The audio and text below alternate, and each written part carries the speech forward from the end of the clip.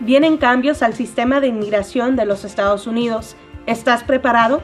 No sabemos ni cuándo ni cómo llegará una reforma migratoria, pero sí sabemos que lo más probable es que se pondrán restricciones para personas que piden a sus familiares. Si usted no ha pedido la residencia para sus familiares, necesita hacerlo. Por favor, no espere. ¿Cómo funciona la solicitud de residencia estadounidense a un familiar extranjero?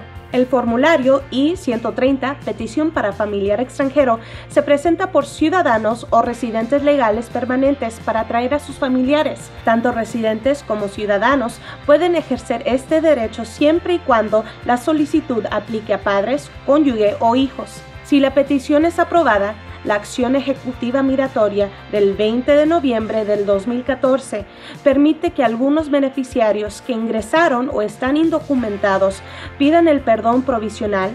Si la petición es aprobada, la acción ejecutiva migratoria del 20 de noviembre del 2014 permite que algunos beneficiarios que ingresaron o están indocumentados pidan el perdón provisional 601A para salir del país hacer el trámite, consultar y recibir la residencia permanente. Los inmigrantes que pidan el perdón 601A deberán demostrar dificultades extremas que sufrirán sus cónyuges o padres ciudadanos estadounidenses o residentes permanentes legales si la exención no es concedida.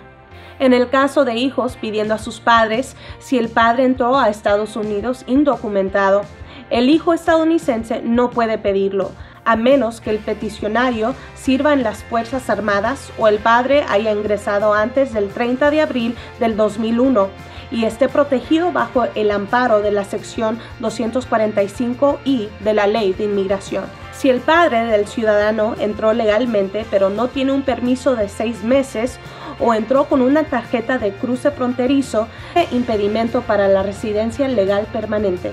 Personas que hayan cometido delitos deben visitar la página de USCIS para saber cuáles impiden el proceso con el formulario I-130.